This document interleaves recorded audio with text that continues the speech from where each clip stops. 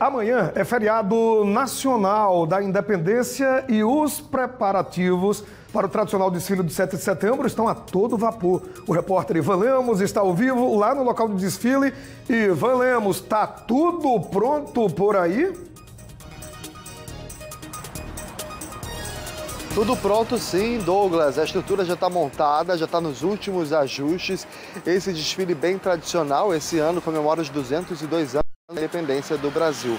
Vou conversar agora com a tenente Sofia Vieira, que é mestre de cerimônias do 7 de setembro e vai dar os detalhes dessa cerimônia para a gente amanhã. Tenente, bom dia. Vamos começar falando dos horários, né? O pessoal deve chegar aqui a partir de que horas? A partir de que horas tem as atrações?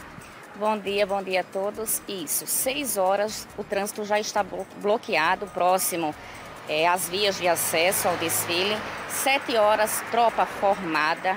8h30 o governador passará em revista a tropa e 9 horas damos início ao lindo desfile do 7 de setembro.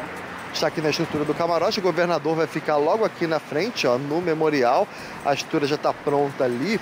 E é um desfile tradicional, né? Que vem as forças de segurança para cá e a população pode se aproximar mais das forças de segurança. Isso mesmo. É um desfile que compõe todos os órgãos da nossa segurança pública. Amanhã teremos 1.500 integrantes dos órgãos que irão desfilar. Então, é uma data muito festiva, 202 anos da nossa independência. Então, convidamos todo o público civil, todo o público militar que venha se fazer presente amanhã no Memorial à República para mais um dia festivo. E também temos como novidade as tendas de acessibilidade. Então, o governo pensando no maior conforto para o público especial. Então, não tem desculpa, tragam os familiares de casa, os vizinhos, venham prestigiar mais um 7 de setembro. Só para a gente concluir, o trânsito vai estar interditado a partir, a partir de, que, altura, de que altura? A partir das 6 horas, é, o desfile vai começar né, na Academia de Polícia e finalizar no Porto de Maceió. Então, as avenidas, as ruas adjacentes estarão bloqueadas. Tenente, muito obrigado pela sua entrevista ao vivo aqui no Balanço Geral.